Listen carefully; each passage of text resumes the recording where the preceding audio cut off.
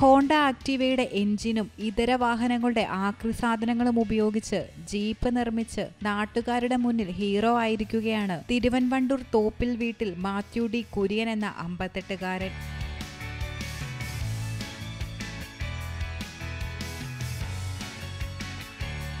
ഇരുപത്തിരണ്ട് വർഷത്തെ പ്രവാസ ജീവിതത്തിനു ശേഷം നാട്ടിലെത്തി സിമന്റ് കട്ട നിർമ്മാണ കമ്പനി നടത്തുകയാണ് Mathew D Kurian. Covid lockdown കാലത്താണ് ആക്രിസാധനങ്ങൾ ഉപയോഗിച്ച് ജീപ്പ് നിർമ്മിക്കുക എന്ന ആശയം ഇലക്ട്രീഷ്യൻ കൂടിയായ മാത്യു ടി കുര്യന് തോന്നിയത്. നമ്മുടെ കൊറോണ സമയത്ത് ടൈം പാസിന് വേണ്ടി ഇങ്ങനെ ആലോചിച്ചപ്പം ഇങ്ങനെ ഒരു ഐഡിയ നമ്മുടെ മനസ്സിൽ വന്നു.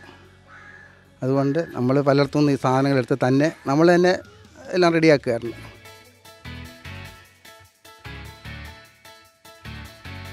നാലായിരം രൂപയ്ക്ക് ആക്രിക്കടയിൽ നിന്നും ഹോണ്ട ആക്ടിവയുടെ എഞ്ചിൻ സംഘടിപ്പിച്ചു. ടയറുകൾ ഉൾപ്പെടെയുള്ളവയും ആക്രിക്കടകളിൽ നിന്ന് തന്നെ വാങ്ങി. നാൽപ്പതിനായിരത്തോളം രൂപയാണ് രണ്ടു പേർക്ക് സഞ്ചരിക്കാവുന്ന ജീപ്പ് നിർമ്മാണത്തിനായി ചെലവായത്. രണ്ട് മാസക്കാലം കൊണ്ട് നിർമ്മാണം പൂർണമായി മാത്യു ഡി കുര്യൻ തന്നെയാണ് ചെയ്തത്.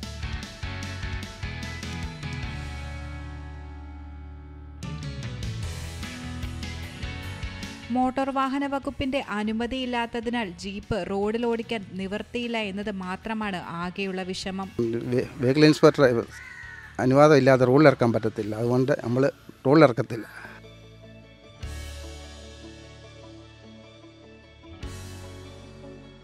ഓട്ടോമൊബൈൽ രംഗവുമായി യാതൊരു ബന്ധവുമില്ലാത്ത മാത്യു വാഹനങ്ങൾ റിപ്പയർ ചെയ്യുവാൻ വർക്ക്ഷോപ്പിൽ പോകുന്ന സമയങ്ങളിൽ കണ്ട് പഠിച്ചതാണ് ജീപ്പ് നിർമ്മാണത്തിന് പ്രേരണയായത്. വണ്ടി കണ്ട് ഇഷ്ടപ്പെട്ട നാട്ടുകാരിൽ ചിലർ ജീപ്പിനായി ഓർഡർ നൽകിയിട്ടുണ്ട്. നാൽപ്പതിനായിരം രൂപ മുടക്കാൻ തയ്യാറുള്ള ആർക്കും ജീപ്പ് നിർമ്മിച്ച് നൽകാം എന്നതാണ് മാത്യു ഡി കുര്യൻ പറയുന്നത്. സ്വന്തമായിട്ട് തന്നെ പണിയായിരുന്നു മൊത്തം. വെൽഡിംഗ് എല്ലാം നമ്മൾ തന്നെ സ്വന്തമായിട്ട് തന്നെ എത്ര കിലോമീറ്റർ വേഗത കിട്ടും?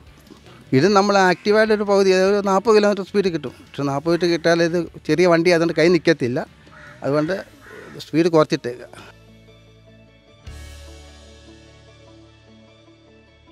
News desk you talk